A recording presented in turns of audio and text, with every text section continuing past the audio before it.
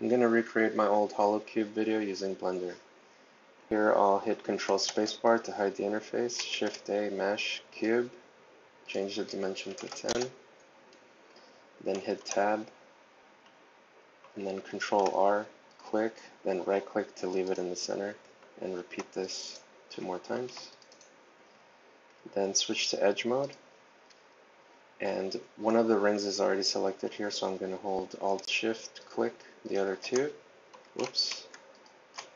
Then Control B, 4, enter, and switch to face mode. Select that one and that one, right click, bridge face.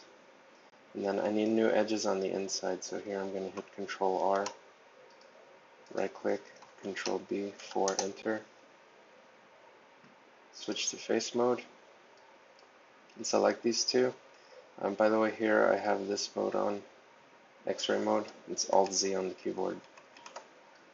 So select those two, right-click Bridge Face, then go around the rest of the cube and hit Shift-R to repeat the last command.